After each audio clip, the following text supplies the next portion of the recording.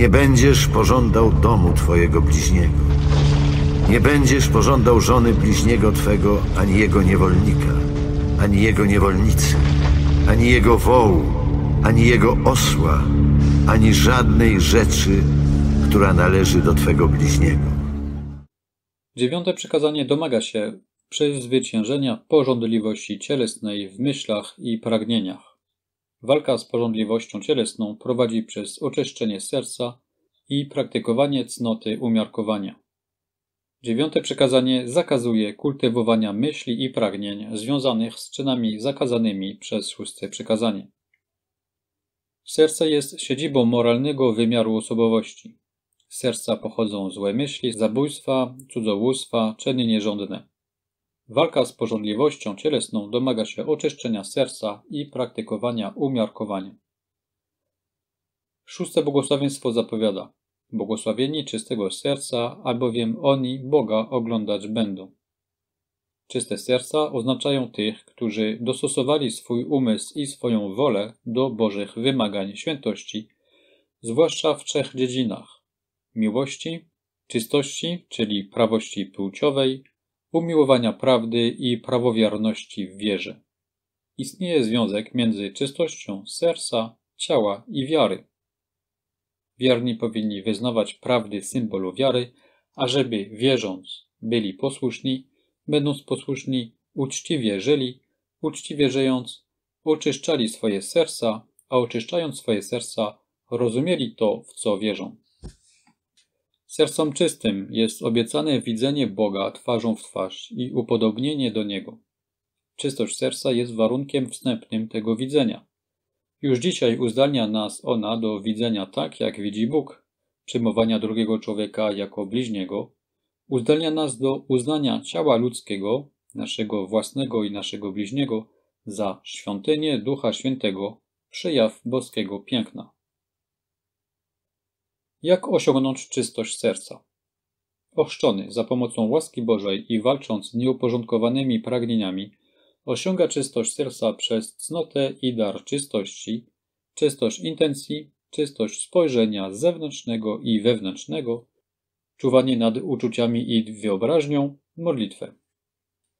Jakie są inne wymagania czystości? Czystość domaga się wstydliwości.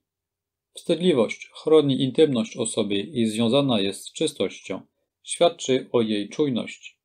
Kieruje ona spojrzeniami i gestami, które odpowiadają godności osób i godności ich zjednoczenia. Wyzwala z szerzącego się erotyzmu i usuwa to wszystko, co sprzyja nieprzyzwoitej ciekawości. Domaga się także oczyszczenia klimatu społecznego przez nieustanną walkę z permisywizmem obyczajów, który opiera się na błędnej koncepcji wolności ludzkiej. Dziesiąte przykazanie stanowi dalszy ciąg i uzupełnienie przykazania dziewiątego. Domaga się postawy szacunku w odniesieniu do własności cudzej i zabrania chciwości, nieumiarkowanego pożądania dóbr innych i zazdrości, która oznacza smutek doznawany z powodu dobra drugiego człowieka i nieumiarkowane pragnienie przywłaszczenia go sobie. Jezus nakazuje swoim uczniom, by przedkładali Go nad wszystko i nad wszystkich. Oderwanie się od bogactw, według ducha ubóstwa ewangelicznego i powyżenie się opatrzności Bożej, która wyzwala z niepokoju o jutro, przygotowuje szczęście ubogich w duchu. Błogosławieni ubodzy w duchu, albowiem do nich należy Królestwo Niebieskie. Maria Wartorta Słowa Jezusa nie wystarcza nie czynić zła. Trzeba też nie pragnąć tego czynić. Kto dzisiaj pragnie zła, jutro z pewnością je popełni. Stąd, kto porządliwie patrzy na kobietę, popełnia z nią cudzołóstwo w swoim sercu. Natomiast ten, który pragnie czynić dobro dzisiaj i codziennie, to tak jakby już je czynił, nawet jeśli choroba lub inne przeszkody mu przeszkadzały w przejściu do czynów. Ludzie dobrej woli, którzy tak żyją, mają albo dobre czyny, albo pragnienie ich wykonania i męczeństwo niemożności ich wykonania, to pragnienie jest bardziej pochłaniające niż same czyny. Ci ludzie posiadają mądrość duchową, praktykują prawo miłości i prawo boskiego dekalogu i dochodzą do wiecznej chwały. są prawdziwymi synami Bożymi, żyją według ducha, nawet jeśli muszą walczyć z atakami złego i ciała, są wierni porządkowi, harmonii i miłości Boga i bliźniego i w końcu zjednoczą się z wieczną doskonałością. Podczas gdy ci, którzy dobrowolnie wybierają mądrość ciała, przeciwniczki Boga i Jego prawa, po ludzkim triumfie nieczystym i przejściowym, spotkają się z rozpaczą bycia odrzuconymi przez Boga, spotkają się z przerażeniem otchłani, której królem jest szatan. Nie będziesz pożądał domu twojego bliźniego.